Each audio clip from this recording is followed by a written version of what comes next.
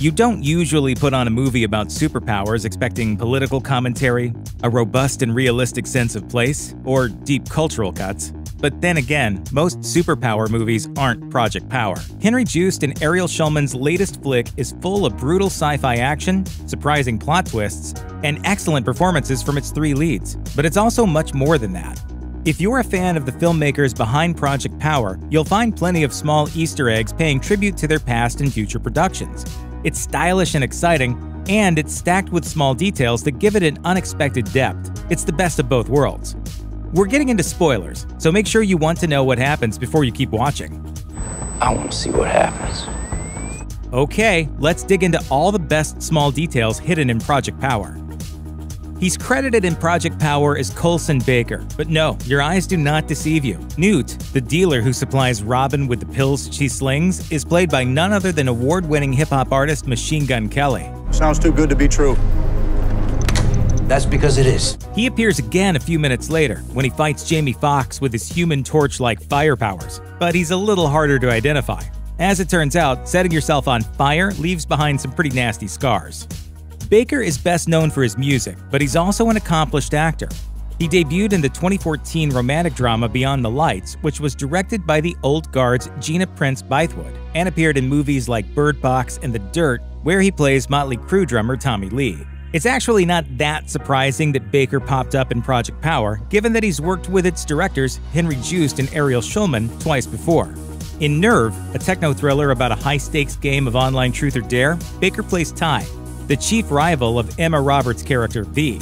In Viral, a sci fi horror flick, he's CJ, the unfaithful boyfriend to Analeigh Tipton's Stacy, who gets his comeuppance after Stacy catches a bizarre disease. You can see a little bit of both movies in Project Power's DNA. The movie deals with the dark side of technology and contains a fair amount of body horror, and Baker's casting really drives the connections home.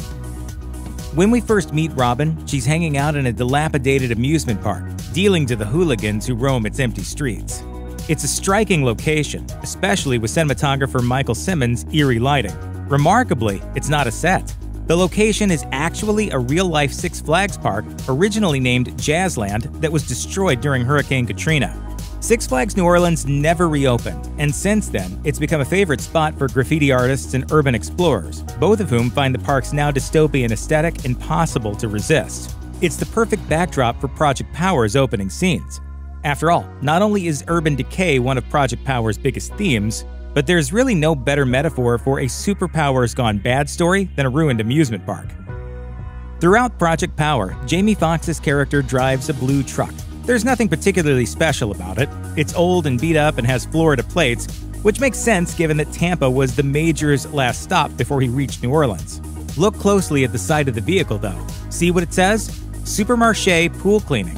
If you were paying attention during Project Power's opening credits, that should sound familiar. Supermarché is also the name of Project Power directors Henry Joost and Ariel Schulman's production company. Joost and Schulman have been working under the Supermarché banner for the better part of two decades. Catfish, a documentary about the perils of online dating, was Joost and Schulman's breakout project and spawned a TV series of the same name. They've made commercials for companies like Nike, Facebook, and Google, along with Vogue featurettes starring the likes of Margot Robbie and Elle Fanning. When you see Supermarché's name on something, you know it's going to be unexpected and interesting. Project Power is full of old school gaming references, although you might have to look pretty hard to find them. In the very first scene, a pusher is seen wearing a Game Boy hoodie. Later, a kid sports a t shirt that says Game Over.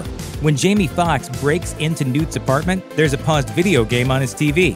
Squint, and you can see that it's one of the old NES era Mega Man games, specifically the Fireman level from the original 1987 title.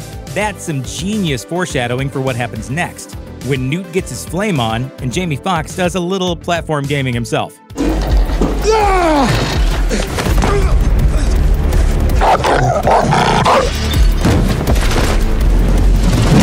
Fun retro gaming Easter egg or something more? For those in the know, it's the latter. See, Project Power directors Joost and Schulman have been attached to Fox's big screen adaptation of Mega Man since 2017, when they were hired to write and direct the movie. On top of that, Project Power screenwriter Mattson Tomlin has joined the Mega Man team. Fairly early in Project Power, Jamie Foxx reads a newspaper article about the effects of power on New Orleans. At first glance, other than the subject matter, there's nothing particularly strange about the story. But look at the byline. No, Brandon Smith and Alice Alward aren't reporters for the Crescent Courier, although they do know all about Project Power. They're actually two members of the film's art department. Alice Alward has worked on projects like Jesse Eisenberg's magical heist movie Now You See Me, the Will Ferrell and Kevin Hart prison comedy Get Hard, David Gordon Green's satire Our Name is Crisis, and the Purge television show. As graphic designer, Brandon Smith contributed to movies like The Town, 22 Jump Street, and The Irishman. About halfway through Project Power, the Major reveals that the company producing Power is called Teleos, which is a Greek word that means complete. Grabbed a bunch of Rangers, put them all in the room, filled them up with radiation, messed with their genes. Tried to turn us into superheroes. Given that Teleos' entire business plan revolves around unlocking the full potential of the human genome, it's a pretty good name. Dig a little deeper, though, and you'll realize that there's a lot more to Teleos than it seems at first. And to fully understand, you have to go all the way back to ancient Greece, and specifically to a dude named Aristotle. See, teleos is a root word for telos, which refers to an object's ultimate purpose or final goal. According to Aristotle, every object has a telos. The telos of a chair is to provide a platform to sit on. The telos of a knife is to cut things.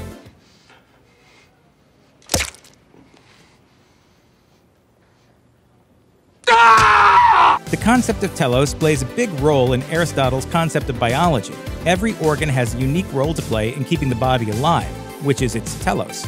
And it's an idea that pops up a lot in Marxist studies, too. See the connection? Project Power is all about elevating human biology, and class warfare is one of the movie's major themes. Yeah, the name Teleos sounds cool, but it's actually a pretty clever reference, too. You'll just need a philosophy degree to fully unpack what it means. At the beginning of Project Power, Teleos and its signature product, Power, start out fairly mysterious. But as the movie goes on, we learn a little more about both. While they first seem like a shady newcomer, it turns out that Teleos has been operating for years, experimenting on former military members before turning their attention to New Orleans' criminal underground. Similarly, while the special gifts that Power grants its users seem random, they all have one thing in common. They're all based on abilities that animals display in the wild. Most of this is revealed during the big presentation that Biggie gives to potential investors, and which includes a breakdown about which powers came from which animals. Healing abilities come from lizards, Camouflage comes from the octopus. Even Project Power's more fantastic abilities, like heat and freezing powers, come from animals that can thermoregulate. Pay close attention to this montage, because if you do, you'll realize that it explains the origins of every single superpower that pops up in the movie, including a few that, at that point, haven't been seen yet. It's a neat explanation of what you've already seen, and a clever teaser of what's to come. Also, we just want to take a moment to call out the Wolverine frog which snaps its own bones to make jagged claws. Yes, it takes its name from Marvel's most famous mutant. Yes, it's actually a real thing. While talking to Art, Amy Landecker's villainous researcher, Gardner, provides an interesting comparison for Art's daughter. I know you think what we're doing here is wrong, but do you know the name Henrietta Lacks? Gardner goes back into the story a little bit, but Henrietta Lacks' controversial contribution to modern medicine is tremendous, and it deserves to be told in full. In 1951, an African American woman named Henrietta visited Johns Hopkins University, the only medical facility she could find that would see black patients to be treated for cervical cancer. Her doctor took a sample of her cells and found something extraordinary. They continued to survive and multiply in the lab. Scientists eventually put the cells, which were dubbed HeLa, into mass production and they've been used to develop the polio vaccine, test treatments for AIDS, cancer, and other diseases, in vitro fertilization, and many more medical breakthroughs. But those cells were taken without Lacks' permission. Her family didn't learn about them until 1975 and hasn't received a cent from their production. In other words, it's a complicated story, which makes it a perfect touchstone for Project Power, a movie that's all about unethical medical experiments and racial and economic strife. You don't need us to tell you that Project Power takes place in New Orleans. From the very first frames, it's almost impossible to forget it. It's not just all the action set around popular New Orleans landmarks, or the way production designer Naomi Shohan seamlessly incorporates the city's distinct sense of style into Project Power's overall look either.